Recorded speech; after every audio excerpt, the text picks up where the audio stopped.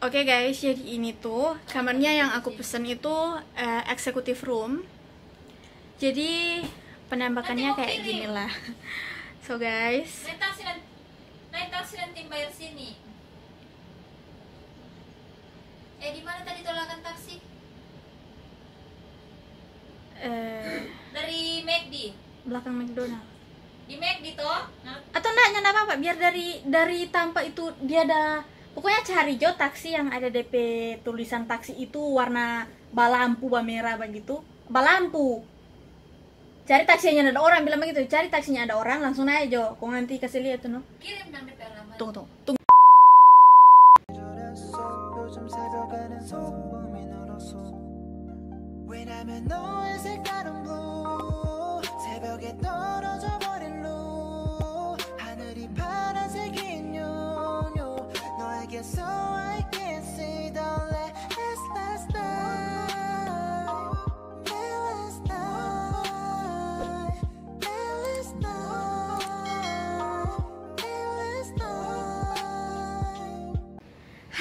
Guys, welcome back to my channel. Selamat datang di YouTube channel guys. Semoga kalian sehat-sehat. Kali ini aku bakalan review hotel dan kali ini aku berada di salah satu hotel yang bintang 5 dan pokoknya keren banget guys. Langsung aja kita masuk. Oke guys, jadi ini dia pas keluar dari lift langsung aja sini jadi kita harus gunain sensor card kayak gini. Langsung kebuka. Let's go. Ya jadi guys pas kalian masuk sini kalian langsung temuin. Ini, ini toilet ya guys. Tadi kita itu agak canggung gimana gitu. Jadi ini guys tadi langsung pas masuk dari pintu kalian langsung dapetin ini ini kamar mandinya kayak gini.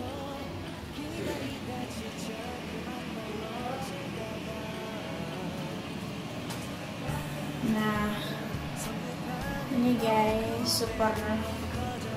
Hmm, hmm cucu kayak gini guys. Ini kamar mandi basahnya. Kayak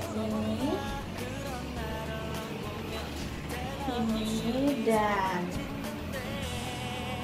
ini dia guys. Ini ada kaca kayak gini di sini. Ada gini-ginian. Ini ada ini. Dan kita lanjut guys. Lanjut sini.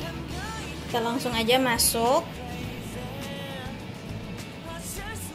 maaf ya ada temen aku di sana.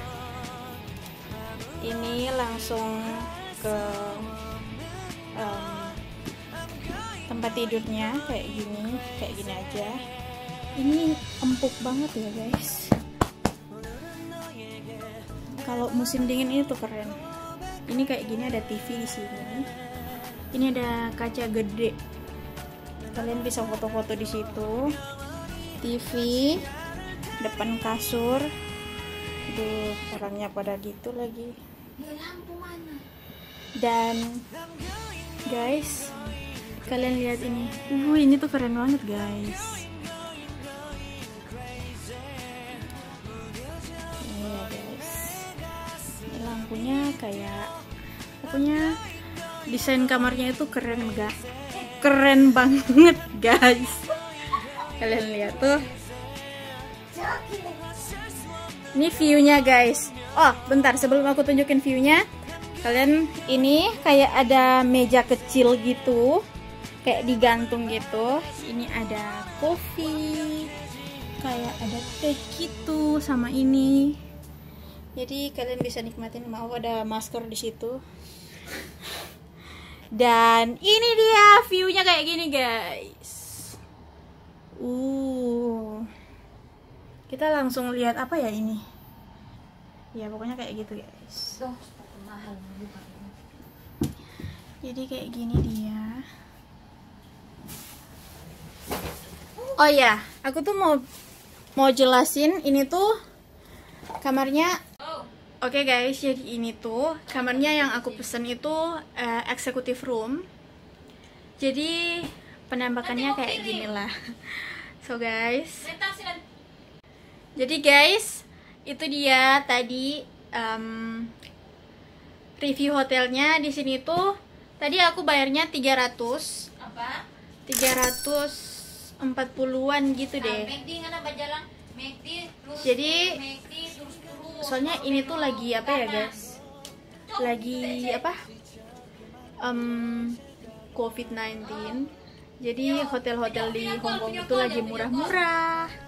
Dan pokoknya ya sekarang lagi lagi turun-turun lagi lagi murah-murahnya gitu.